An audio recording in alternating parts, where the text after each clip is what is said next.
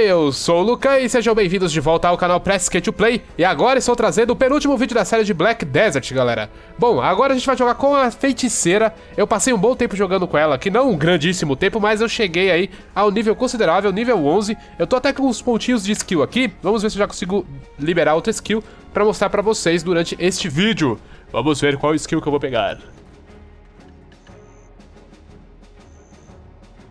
Essa skill parece ser legal, vou pegar ela pra gente testar depois bonitamente, bonitasticamente. Beleza, peguei uma skill nova, agora eu dei mais pontos de skill para alocar em lugar nenhum. E o que, que a gente vai fazer nesse episódio, né? Além de testar essa personagem, eu vou na montanha que eu disse pra vocês. Uma aldeiazinha presa na montanha? Então, vamos pra lá com essa personagem. Essa personagem que eu não vou gerar character design dela. Então, vamos lá, né, Lunia? Deixa eu só dar uma olhada numa coisa aqui. Vamos ver o mapa. O lugar que eu tenho que ir é aqui embaixo. Ó. A caminhada vai ser grande. Conforme eu for encontrando criaturas nesse caminho, a gente vai enfrentando elas. Beleza? Então, vamos correndo. Enquanto eu vou correndo pra montanha, galera, eu vou já aproveitar e corrigir uma coisa, né? Corrigir não, informar de uma forma melhor. No episódio da arqueira, eu tinha conseguido uma skill que eu achei um pouco difícil de utilizar, cara, F pra trás e tal. É, não era tão difícil assim, pra falar a verdade. Só que existe uma outra maneira da gente disparar as skills, que é através das teclas de atalho padrão. Então a gente pode colocar as skills, mesmo que sejam combinações de teclas, nos botões numéricos, tá? Então a gente pode colocar do 1 até o 0. Do 1 ao 0 a gente pode colocar as skills. A gente não precisa estar pegando as, as sequências né, em si. Porém, isso nem passa pela minha cabeça porque eu acho muito mais divertido a gente fazer sequências, a gente fazer movimentos especiais, é, sei lá, eu acho mais divertido, me lembra mais jogos de ação, né? E eu acho que fica mais intuitivo também. E agora a gente tá descendo nessa área aqui. Eu me equivoquei, mas me equivoquei bonito. A gente não vai subir a montanha. Apesar de parecer que a gente ia subir a montanha, o que a gente vai fazer aqui é outra coisa. Aqui a gente vai fazer um, um trecho importante da linha de história. É, eu acho que é importante. Eu suponho que é importante, porque aqui é quando o nosso hospedeiro negro, nossa entidade obscura, ganha sua primeira transformação. É interessante mostrar essa parte aqui, esse trecho, porque é um trecho bem diferente, né? Com a ambientação mais obscura. Um lugar fechado, que lembra talvez um pouco as dungeons do Skyrim. Só que eu não sei se vou me atacar pedra agora se eu falar isso, mas eu acho mais legal desse jogo. Tá bom, não me odeiem, beleza? Por favor, não me odeiem! E vamos caminhando e a gente chega aqui nesse monumento mágico. Vamos conversar com as pessoas. É, é, essa pessoa aqui tá meio sem cabeça. Cadê tua cabeça, fio? Não sei, vamos conversar aqui com os responsáveis por esta área. Beleza, conversamos com o cara aqui. Aí nosso espírito da tumba, Tumbatá, vai trocar uma ideia com a gente. Agora vamos conversar com essa moça? Não precisa, agora a gente tem que conversar com esse cubo mágico aqui da... de antigas civilizações esquecidas. É o que parece, né? Porque aqui é um ambiente que parece que teve algum tipo de guerra, várias estátuas, tanto de criaturas, meio que cibernéticas, e magos, né? Aparentemente. Sei lá, é um lugar obscuro. É, lembra um pouquinho de leve os Deadras, ou Dryades, do Skyrim, né? Tem, eu lembro que tinha uma, uma linha de quest do Skyrim que a gente entra em alguns lugares onde existia uma antiga e poderosa civilização, mas o que funciona lá é só o sistema meio que mecânico mágico deles, né? Tecnomágico, sei lá, seria essa a expressão certa? Não sei. E também também tem algumas criaturas que vivem por lá, que aprenderam a viver naquele lugar obscuro, Isas e tal. Mas vamos deixar rolar aqui essa animaçãozinha para ver como que nossa pequena assombração começa a ganhar um corpo um pouquinho mais sólido.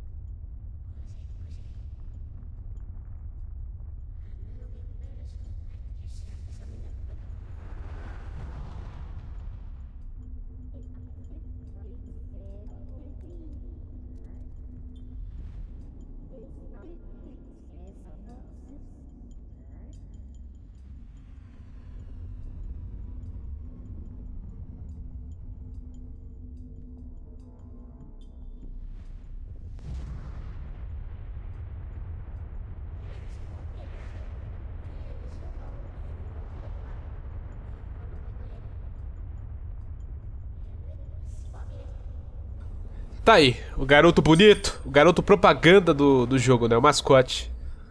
Você gostaria de ter um mascote desse? Um, sei lá, um ursinho de pelúcia desse bichinho aí?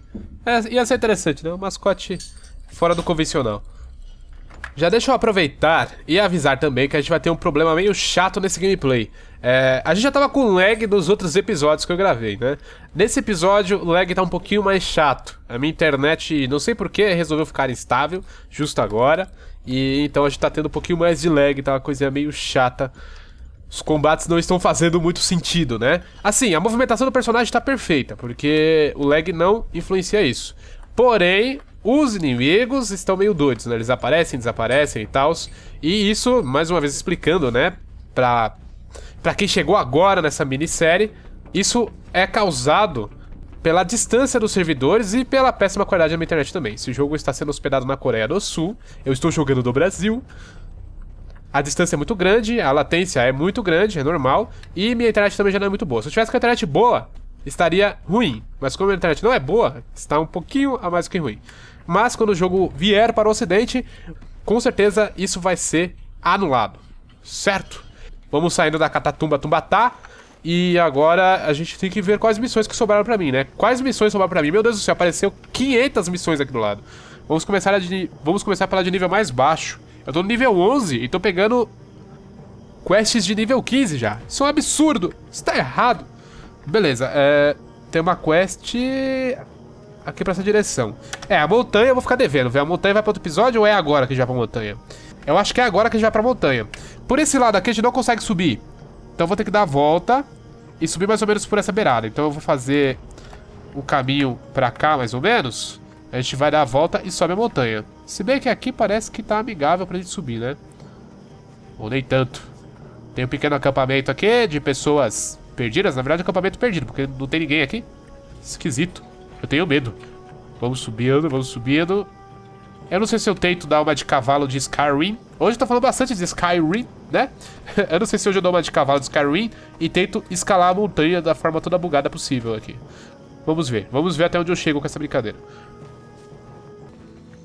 Isso é perigoso, Lucan. Tu vai cair, tu vai matar ela que nem você matou o Kyer, velho. Você vai matar ela que nem você matou outro cara, mano. Ai, meu Deus. Ai, meu... Não, não, não, não, não, não. Ai, meu Deus. Por que, que você não faz do jeito certo, né, Luca? Vai, para de vandalizar a física do jogo, bora fazer da maneira correta.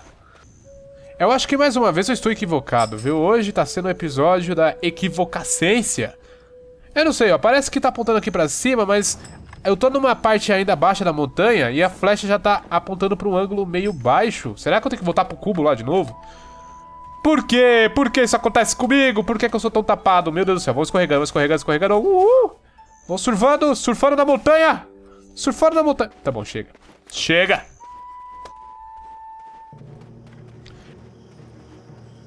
Eu tô pensando aqui, na verdade, o poder de subir morro nunca foi dos cavalos de Skyrim. Sempre foi do CJ do GTA. Pois é, eu lembro quando eu jogava GTA San Andreas, há muito tempo atrás, que o CJ tinha a incrível magia de subir morro como se estivesse andando numa passarela. Era engraçado. Encontrei a parte da missão, finalmente. Tive que voltar pro cubo, não teve nada de montanha, nada, nada. E o pior agora é que a montanha está overrated na cabeça de vocês, né?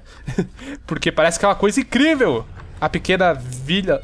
A pequena vila na montanha, mas não é. Era só uma coisa assim, legalzinha. Mas agora falhou tantas vezes que às vezes vocês estão com a curiosidade lá pra cima, né? Não, não é nada de tão extraordinário assim.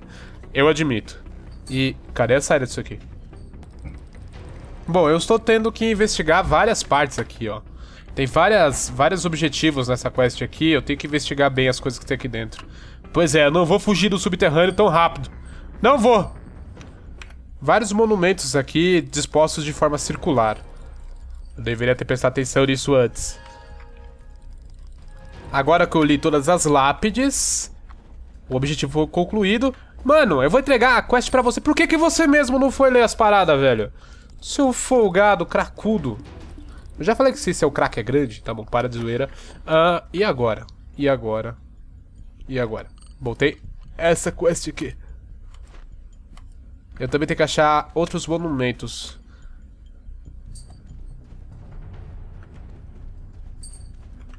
Eu acho que esse daqui é o último monumento que falta. Voilà, terminamos a quest. E o combate com a maga eu não mostrei ainda, né? Combate que é bom nada, né, Luca? Pra que, que eu vou entregar essa quest agora? Pra alguém que tá aqui fora. Aqui fora não, né? Ele tá aqui, ó, paradinho de boas. Esse malandro. E aí, careca? Agora sim, todas as quests estão me levando para fora daqui. Luz do sol! Finalmente! E agora, vamos para onde? Deixa eu ver no mapa. Tá mandando eu ir lá para... Meu Deus! Longe, hein, mano?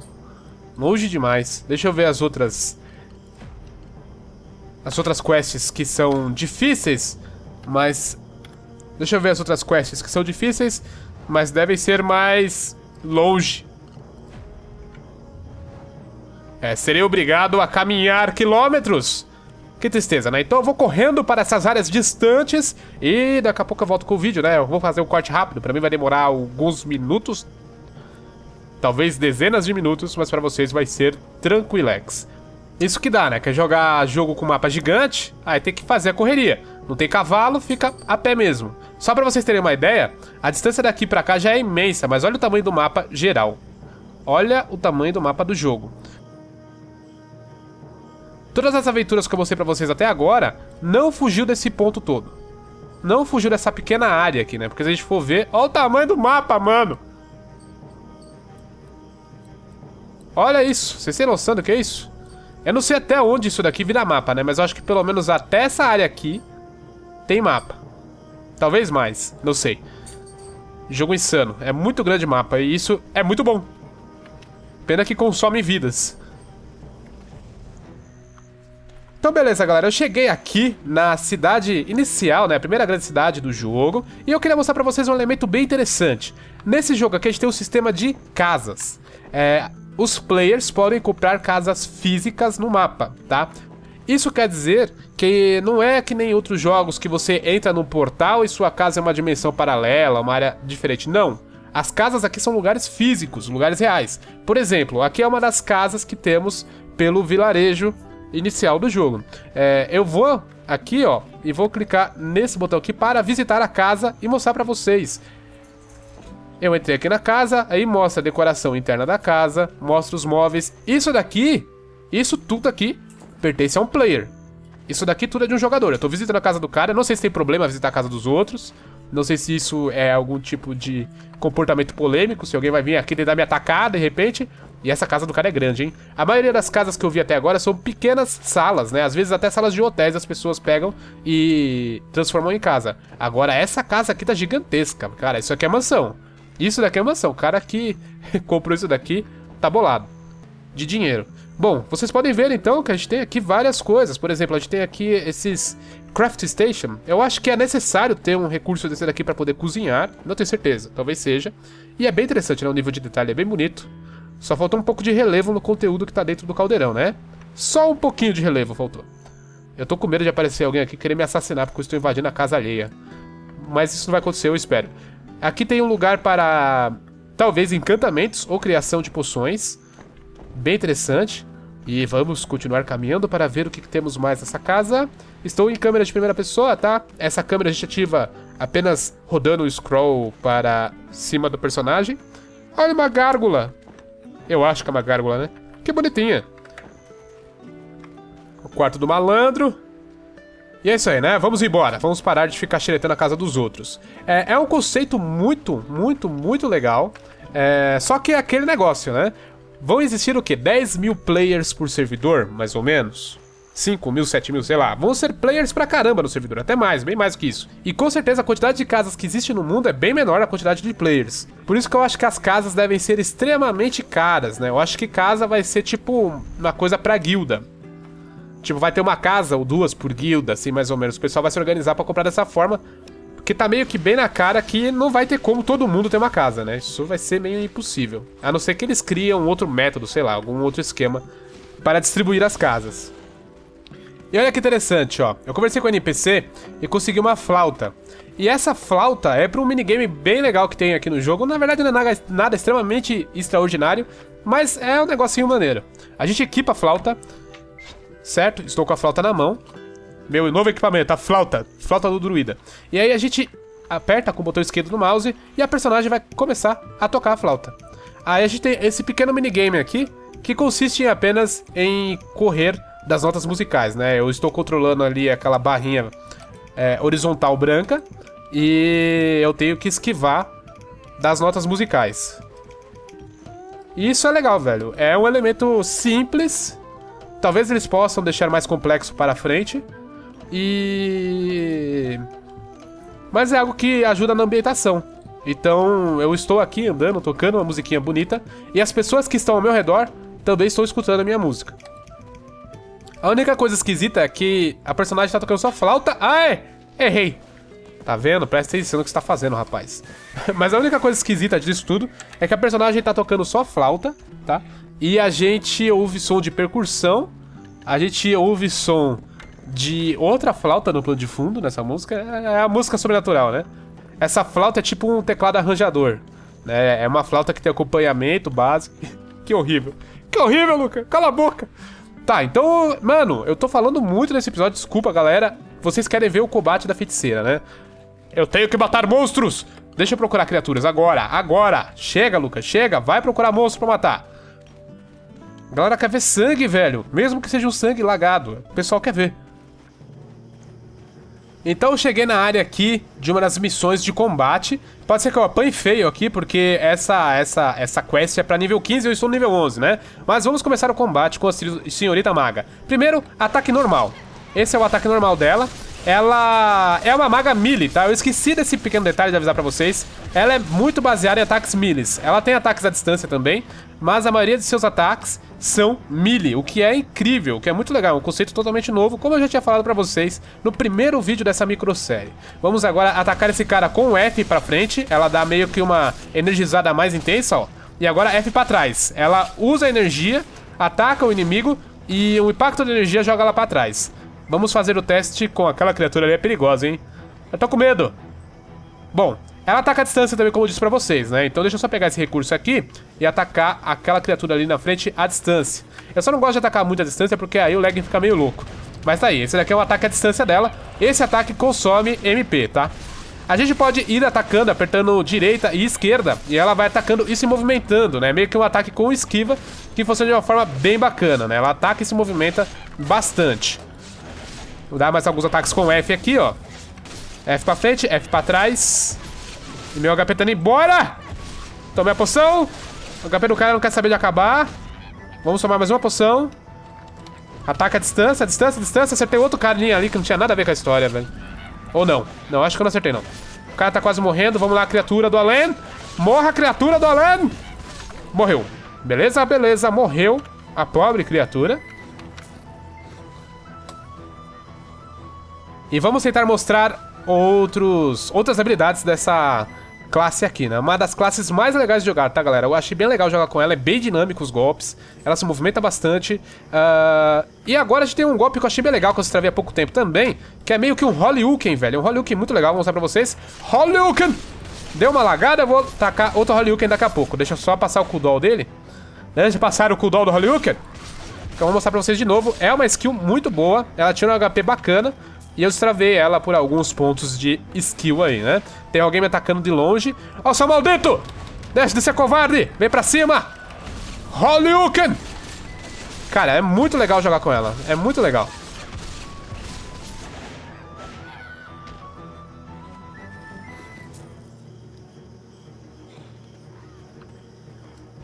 Vem pra cima! Vem pra cima!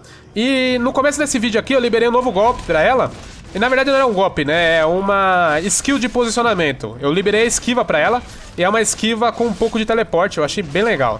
Deixa eu só terminar de matar esse desgraçado aqui. Se bem que eu posso usar agora, né? Tá vendo? Eu esquivei pra trás. Vou esquivar para o lado agora. Esquivar para o lado quando ele vir de novo. Ó, ó. Pro lado. Olê! Olá, bichinho! Então é outra skill legal de movimentação que deixa as coisas ainda mais dinâmicas com essa personagem. Holyuken! Morra! Morreu. Até que o lag deu uma melhorada, viu? Deu uma melhorada, mas consideravelmente grande, porque eu estava tendo sérios problemas aqui, tipo... eu não sabia se eu tava acertando ou não a criatura e daí por diante, né? Lá atrás acabou de desabar alguma coisa, tem player quebrando construção aqui. E o que, que eu posso fazer mais aqui agora?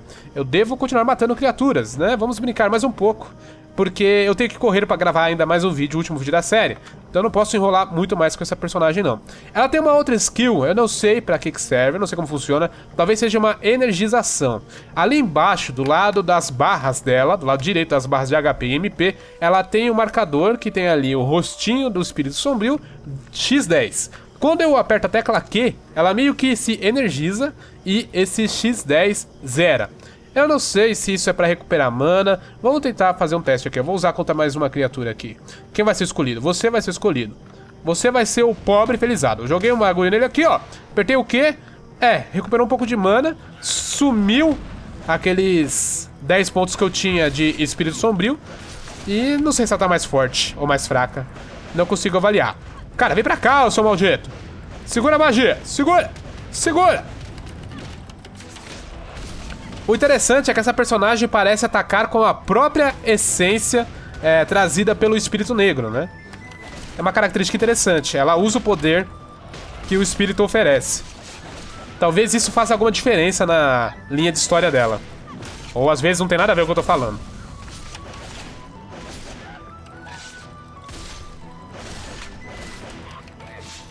Aí, mano, quem é você? Ninguém te chama pra conversa, não. Ó, esquivei pra trás, pra frente, coisa linda. E um Holy pra você, amigão. Podia ter um contador de hits, né? Ia ser legalzinho. Pra saber quantos hits eu estou fazendo. Mas não tem. Então eu não vou chorar. E eu vou morrer aqui, velho. Holy Cara, esse golpe é muito bonito. É muito bonito. Eu ainda não sei qual é a melhor câmera pra jogar esse jogo. Eu não sei se é bom jogar com a câmera bem afastada, tipo assim. Ou se é legal jogar com ela mais pra cima do personagem, ou ainda se é melhor jogar com a câmera na, no ombro dos personagens, né? São várias opções, tem que testar cada uma com paciência e infelizmente eu não tenho tempo pra fazer o teste agora. Vai morrer, seu diabo! Vamos morrer que tu tá viva faz muito tempo já. Morreu. Boa. E eu acho que é isso aí, galera. Eu vou encerrando esse vídeo o penúltimo vídeo da série. Espero que vocês estejam gostando das informações que eu estou trazendo. A ideia mesmo é mostrar mais a essência do jogo, porque informação mesmo fica difícil de, de dizer para vocês com total certeza sobre as mecânicas, afinal de contas, eu ainda não sei coreano. Ainda, tá? Quem sabe? Quem sabe um dia. Se vocês puderem me ajudar com um joinha, eu fico muito agradecido. Se vocês puderem deixar aí um compartilhamento, eu fico ainda mais agradecido. Isso ajuda demais no crescimento do canal. Isso é uma força imensa para mim. E é isso aí, galera. Muito obrigado a todos que acompanharam esse vídeo até aqui. Um forte abraço e fui! Hadouken! Haha!